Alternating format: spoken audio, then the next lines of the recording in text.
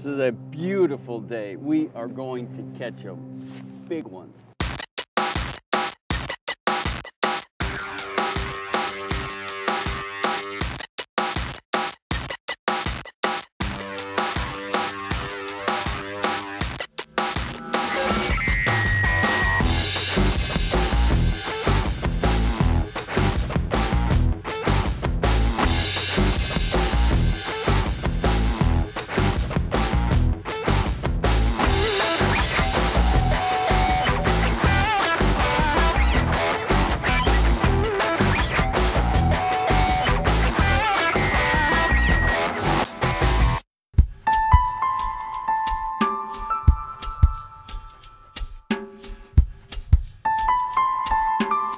Late fall on the river.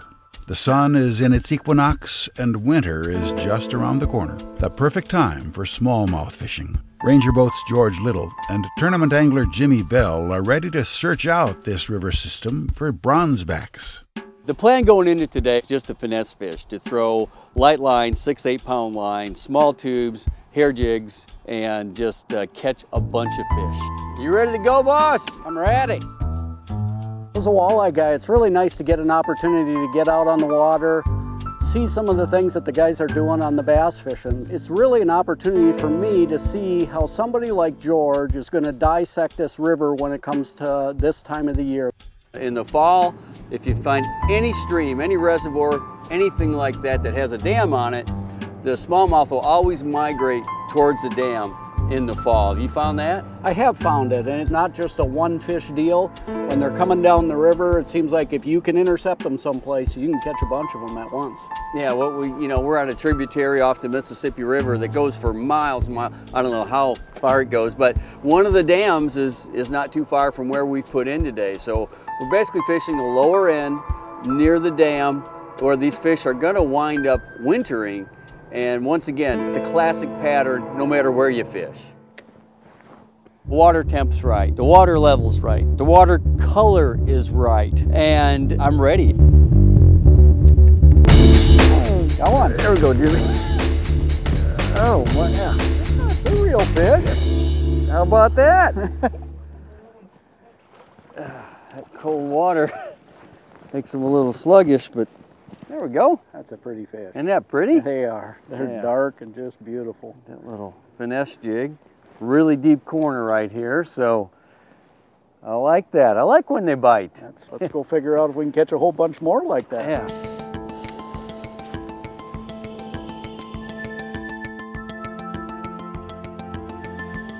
Let it get down there on the bottom and just really slowly drag it. These smallmouth are just a hoot to catch. I don't care if you catch a 12 inch fish or a 20 inch fish, they're gonna fight until you get them out of the water. The fish are right in this corner. There's a little current blowing into this corner. We're getting to this time right now where we're out with the smallmouth, where we may have to downsize a little bit. And I'd like to see how this is gonna work, taking some of the walleye stuff that I know and really trying to put it to use in these smallmouth on the river. Current, there's bait, and where there's bait, there's smallmouth. Get him? Good Yep. job, Jimmy. Not one of the big ones, but a fish. Yeah. When we finally caught that first fish, you know, it, it really did tell us something that worked the remainder of the day. Um, and it was in a very hard corner in the deepest spot in some real heavy cover. So there was current, the deepest spot in the river, and a lot of cover. The, those fish were not relating to just a slick bank. He was way out here, wasn't he? Yeah, he was. So it's been kind of a tough day for us. Um, we were expecting a lot better. Obviously, the, the water temperatures seemed like they were right. Everything seemed perfect, but it was tough. Go.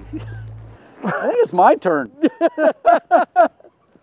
Uh-oh, get your dollars out, boys. That could be the dollar fish right there.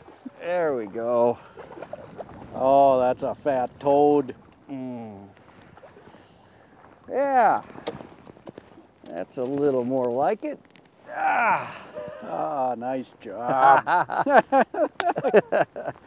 that's a little more like it. There's no doubt about that when he bit it. So we're getting to figure something out now. We got this hard Sweet. corner. Yeah. Deep water, hard corner, big fish. Right? Ah! Gotta love it. One thing I can say is if there's a tip here, it's you don't have to fish shoreline structure. As a matter of fact, I catch more fish off the bank, even in a small stream like that, than I will casting at the bank. Those fish relate to boulders, rocks, and they don't care where they're at. They don't have to be on the bank. They can be under the water, and most times you'll find that the rocks and structure you can't see are the ones you'll catch more fish off of. And look at your locator, you'll find those spots. North American Fisherman is brought to you by Ranger Boats, still building legends one at a time. By Berkley Trilene, anglers trust Berkley Trilene, America's strongest. Quebec, providing emotions since 1534. Yeti Coolers, wildly stronger, keeps ice longer. And by these other fine sponsors.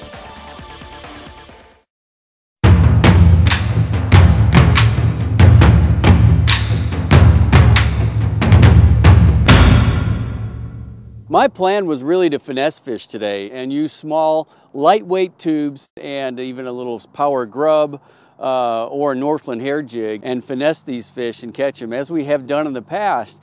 Well, it didn't work out that way. We wound up, I wound up flipping some with, with big line and, and jigs, uh, throwing a spinnerbait some, throwing a crankbait some. We tried everything to catch these fish. We wound up catching fish, but it wasn't quite the plan. And I think I just had a bite.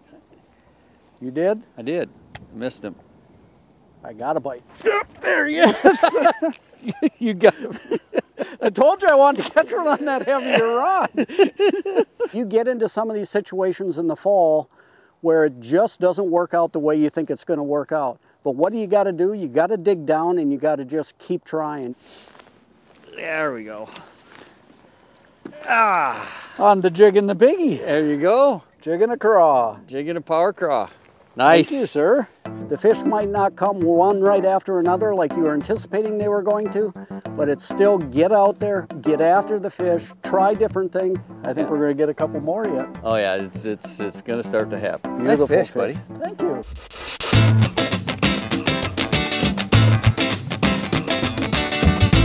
Oh, that's a slab. That's what lives here. I can see why you like this spot. That's a fish, George. Yeah. There we go. I caught that big fish on a just a little bit of a drop. As I talked about, you had to have some type of a drop with a little bit of trash there on the drop. That's where that fish came. I've been out fishing days I didn't catch that much before, but it certainly wasn't what I expected. There's one. Okay. Yeah, that's, there's one. That's a real fish. All right, That's a coming tank. your way. What do we think of that one? Yeah. Uh-huh. That's a real fish there. There you go, buddy. All right, I'll give you your dollar back. Look at the day that we've had today. We've been able to go out, catch some beautiful fish on a beautiful day. People miss out on that and really don't think about the fishing right now this time of year. So he was right off the end of that rock pile, kind of where we were hoping he was. I mean, we were talking about it. Everything felt just perfect about that spot. Yeah. Yeah, Well, and then we threw other baits, and how many casts did you make with that? First cast. First cast. First cast. We better try that. try that some more. I think I will. Finally, Jimmy hooks a big fish. You know, we, we caught the you know one of the five pounders that we were truly looking to catch there that day. And as you've seen today, we've caught some real quality fish. It was a tougher day, but we had a great day on the water either way, and it's something that anybody could put to use in some of the rivers and smaller streams that you've got around your place. Get out there, give it a try, you'll have success, trust me. The equipment we used today was pretty simple. We used a seven foot medium action spinning rod with a Pflueger spinning reel, eight pound spider wire, and then an eighth ounce tube or an eighth ounce uh, hair jig. The casting rod was a 6'9 Techniques casting rod, Revo reel, fluorocarbon line with a Berkley finesse jig. We really kept it downsized and on the bottom to get our bites. Should we go down this bank one more time? I think we work up until where I caught that bigger fish up there. Okay. Um, then maybe come down and hit this other spot, but I'd say yes. You caught a big one up there? Yeah, I did, as a matter of fact. and I want to catch another one up there.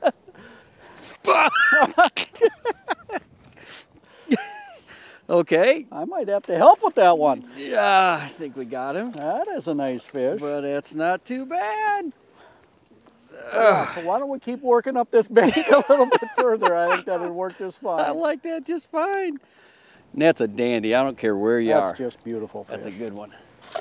You know, the day as a whole, it was great to go fishing. No question about that. I uh, I loved it, and we did catch a few fish. It absolutely wasn't what we expected, but you know what? There's still time left. I'm still going to get out there, and I will figure those fish out and catch me a bunch of big ones. So, it uh, we'll chalk this one up to experience, and probably try some different things the next time we go out. When you use the right gear, you catch more fish. And I want you to enjoy the exact same success that we did on today's show. That's why we're giving you a chance to win the selection of lines and lures that we use. Including a spool of 8 pound Spiderwire Stealth Braid and a spool of 8 pound Trilene 100% fluorocarbon, and 5 packs each of 3 inch Powerbait Jigger Craws, 3 inch Power Tubes, and 3 inch Gulp Grubs. To enter this free drawing, go to Facebook and like the Fishing Club. Then, click on the TV tested Win What's Working button at the top of the page and follow the simple instructions. Love the fish? Then like the Fishing Club on Facebook. There's a lot to like and a lot to win. Next up, Knot Wars. And then Dr. Hal Schramm answers the question Do introduced bass compete with walleye?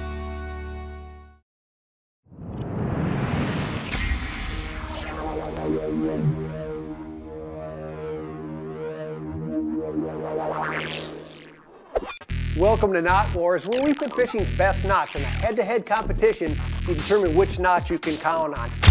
Now last week, the Rebec knot beat the Nanofil as we search for the strongest knots for Superline.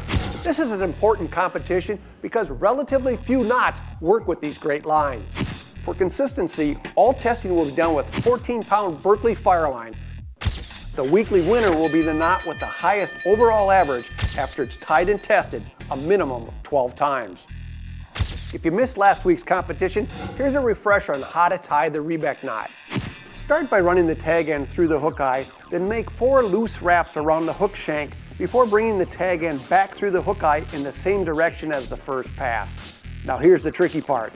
Slide the four wraps over the hook eye and up the main line, and then tighten carefully by pulling on the hook, tag end, and standing line. The challenger this week is the Burke Knot, a strong contender from the 2010 season of Knot Wars. Here's how you tie it. Double the tag end and run the loop through the hook eye. Then run that doubled line up the main line before bringing it back to form a loop. Run the doubled line through the loop five times. Moisten with a bit of saliva, then tighten using both the tag end and the main line. So it's the Rebec versus the Burke. Which is stronger with super lines? Let's find out. I already have the trusty knot testing machine set up. We've got our challenger, the Burke knot here on the left. We've got our weekly champ, the Rebec here on the right. Here goes.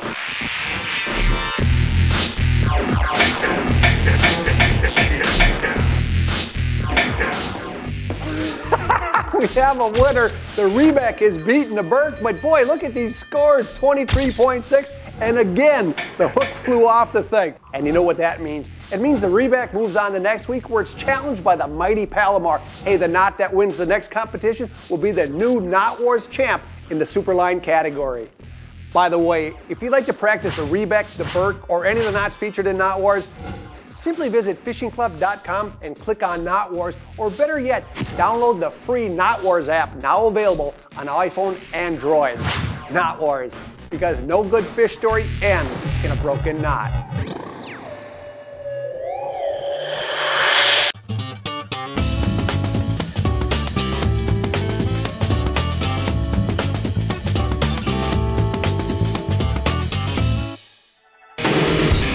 Fishery managers have introduced various sport fish.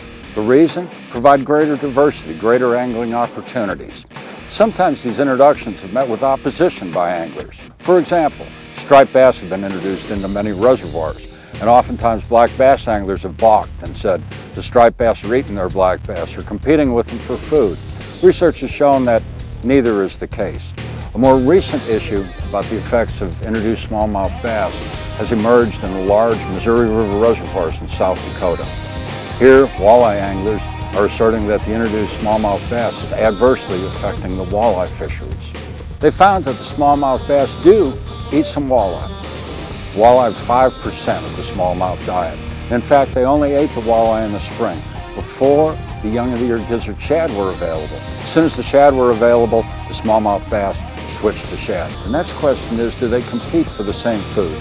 They looked at the diets of the two fish and they found out that indeed there was very high diet overlap. The diet overlap though was for shad. During the summer, when the young of year shad were available and small enough to be eaten, both species were eating a lot of shad. Biological assessments indicated that the shad were abundant enough to support both the smallmouth bass and the walleye populations. The researchers took one more step. They looked at the growth of walleye. What they found is that elevated temperatures in Lake Sharpe were reducing the growth of the walleye. Fewer large walleye. Interestingly, the same elevated temperatures were favoring the growth of smallmouth bass and accelerating the growth of the smallmouth. So it isn't the smallmouth bass that's adversely affecting the walleye, it's the temperature. Can this situation be remedied? Yes, it can. Upstream is Lake Oahe. If they increase the cool water releases from Lake Oahe, that would moderate the temperature in Lake Sharpe and keep this system working. The more we know, the better we can manage. That's good for the fish, that's good for fishing. The following products have been field tested and approved by members of the North American Fishing Club. The easy to hook lure adapter eliminates the need for knots. Just loop, pull through, snip, and attach, and you're ready to go. Armando Hernandez of Canyon Lake, Texas liked the ease of threading. If you would like to become a field tester, text the word FISH plus your email address to 57682. Steve Pennaz explains what to look for when selecting fishing line based on their sink rates. Next on North American Fisherman.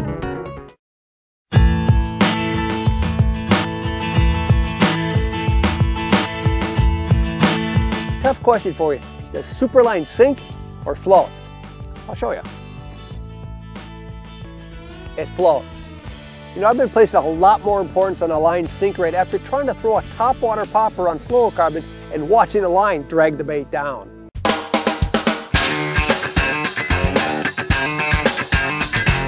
A scientist will tell you water has a specific gravity of 1.0. Anything with a lower specific gravity floats, anything with a higher specific gravity sinks. Here's how four types of fishing lines rank in terms of specific gravity and sink rate. Superline, 0.97 floats. Mono, 1.13 suspends. Spiderwire fluoro braid, 1.5 sinks.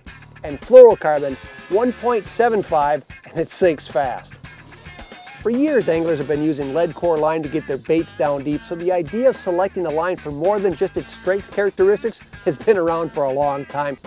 For example, my favorite line for fishing baits like the Gulp Sinking Minnow or the Berkley Heavyweight Worm is fluorocarbon, and it's not because the line's nearly invisible, but because it sinks. When you're fishing baits like this with a line that floats, it slows the bait's rate of fall and impedes its action but a sinking line helps the bait sink faster, giving it more action, and that way you're gonna catch more fish.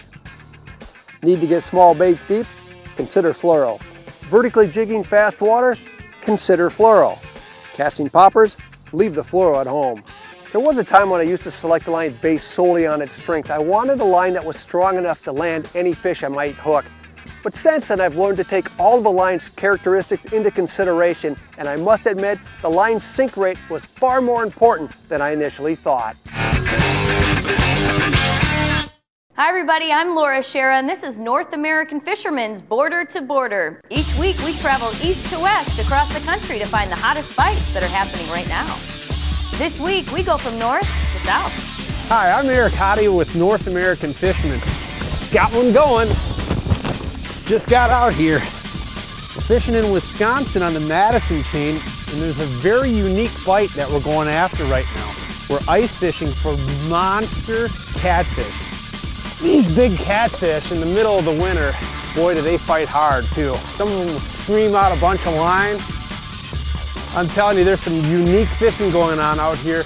Catfish in the middle of the winter. Oh, there you go. There's the first one of the day. Not a real big one, but a nice little channel cat here, again on the Madison Chain of Lakes. In the middle of the winter, that's what you can come out here and catch using these automatic fishermen.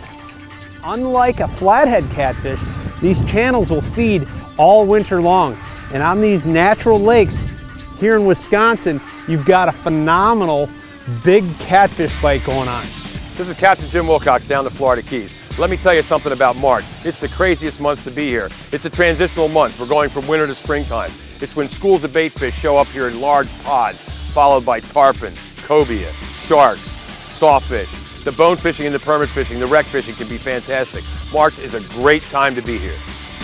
Each week, Border to Border brings you the latest news on the hottest bites around the country. You want more information? Log on to fishingclub.com and make sure you throw a few back. North American Fisherman is brought to you by Yamaha Outboards. Reliability starts here. By Abu Garcia for life. Berkley Gulp Alive. Looks alive, feels alive, tastes alive. Cabela's, the world's foremost outfitter of hunting, fishing, and outdoor gear. And by these other fine sponsors.